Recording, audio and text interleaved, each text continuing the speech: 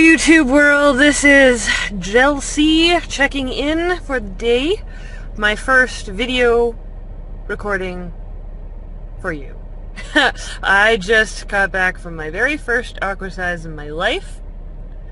Yeah.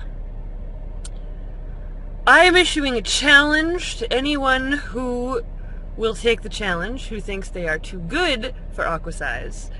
Go take just a simple one hour course, class, session, whatever you want to call it, in aqua size is rough for the first time, let me tell you. It's ridiculous.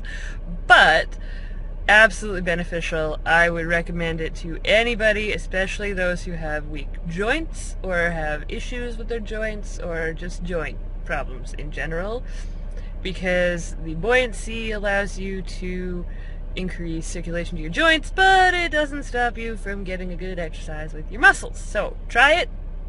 I'm exercising this challenge towards you. I'm doing it once a week, every week, without fail. Hopefully. Stay tuned for more challenges. Out.